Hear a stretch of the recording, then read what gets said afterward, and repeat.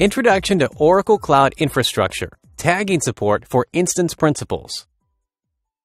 With instance principals, your compute instances act as principal actors that permit the instances to make API calls against Oracle Cloud Infrastructure services based on policies. Currently, matching rules are based on the instance ID and compartment ID. Added to these, now tagging is also supported within the instance principal scenario. Instances are configured as principal actors, derived from a set of matching rules. Now, tenant admins can group the instances in a more granular fashion by grouping them based on tags. With tagging support, it is easier to group your instances to be part of a dynamic group. Hi, please tell me more about tagging support for instance principals in IAM. For better understanding, let us consider this scenario. Here you have tagged compute instances in different compartments across a tenancy. Say you want to group all instances tagged with the tag namespace called operations and a tag key called project. For that, you must enter the API parameter, matching rule, tag.operations.project.value. All instances that currently exist or get created with the tag namespace operations and tag key project are members of this group. Similarly, say you want to group all instances tagged with the tag namespace called operations, tag key called project, and tag value called alpha. For that, you must enter the API parameter, matching rule, tag.operations.project.value equals alpha. All instances that currently exist or get created with the tag namespace operations, tag key project, and tag value alpha are members of this group. That really makes it simple. Does the existing instance principals task flow change completely with the new tagging support? No, it doesn't change completely. The change is only within the contents of the matching rule parameters. The previously supported conditions were instance ID, compartment ID. The new condition includes the support for tags, where tag namespace and tag key are mandatory, with the optional tag value. The user can use any combination of these old and new matching rule conditions. A matching rule has the following syntax. For a single condition, variable equal to or not equal to value. For multiple conditions, any or all conditions. The syntax for the supported variables are instance.compartment.id, the OCID of the compartment where the instance resides. Instance.id, the OCID of the instance. Tag.tagnamespace.tagkey.value, the tag namespace and tag key. Tag.tagnamespace.tagkey.value equals tag value, the tag namespace, tag key, and tag value. Here are some examples. To include all instances that are in a specific compartment, add a rule with the following syntax. To include all instances that reside in any of two or more compartments, add a rule with the following syntax. To include all instances that are tagged with a specific tag namespace and tag key, add a rule with the following syntax.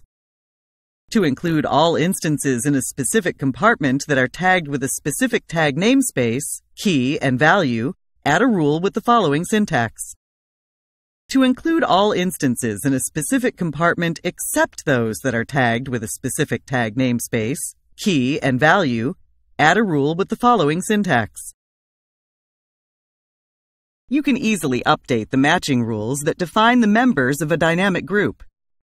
For example, you might update a rule to include a new tag value. When you make a change to a matching rule, you must allow about 20 minutes for the updated policy to take effect.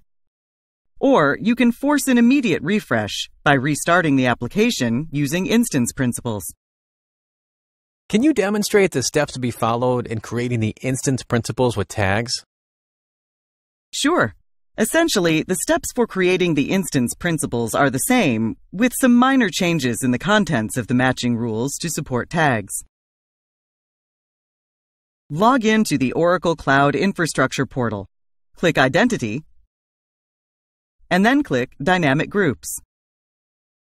Click Create Dynamic Group. Enter a unique name for the group and a friendly description. You can either manually enter the matching rule in the text box or launch the Rule Builder. The Rule Builder does not support rules with conditions based on tags, so let us use the text box. The syntax to include the tag namespace and tag key is tag.tagnamespace.tagkey.value. Optionally, if you wish to include the tag namespace, tag key, and tag value, the syntax is tag.tagnamespace.tagkey.value equals tag value. All instances with the above tags will be members of this dynamic group. Click Create Dynamic Group. The dynamic groups in your tenancy is displayed. The existing instance principal will have the following API. Now the user can use any of these combinations. Tag namespace and tag key. User provides a tag namespace and tag key, which will include all instances with tags with this tag key, regardless of the tag value. Tag namespace, tag key, and tag value. User provides a tag namespace, tag key, and tag value, which will include all instances with tags with this tag key and tag value. Next, create an instance, which is part of the dynamic group we created above. Check the matching rules and make sure the instance fulfills this criteria. The instances with the tag namespace operations, tag key project, and tag value alpha will be members of the dynamic group we created above. Finally, complete the workflow with the following steps. Create a policy granting permissions to the dynamic group to access services in your tenancy or compartment. Then, a developer in your organization configures the application built using the Oracle Cloud Infrastructure, SDK, to authenticate using the instance principals provider. The developer deploys the application and the SDK to all the instances that belong to the dynamic group. The deployed SDK can now make calls to Oracle Cloud Infrastructure APIs as allowed by the policy without needing to configure API credentials. That was an interesting overview. Instance principals with tags makes it easier to logically group compute instances and enables you to assign policies through dynamic groups. Thanks. You're welcome. Please go to the Oracle Cloud Infrastructure portal to learn more. Be sure to sign up for the free trial and get started right away.